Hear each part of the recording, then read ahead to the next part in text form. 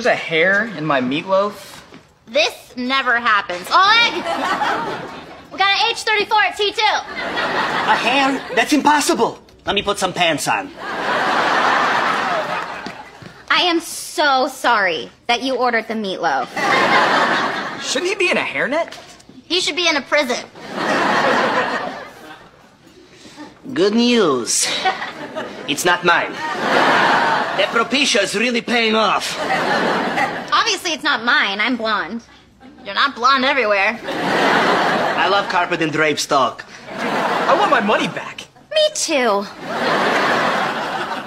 But it ain't mine. Last time my hair was this long, I was a backup dancer on solid gold. Han! We got a customer with a hair up his butt and one in his meatloaf.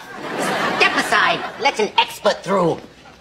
Look, it's Law and Order, SAD.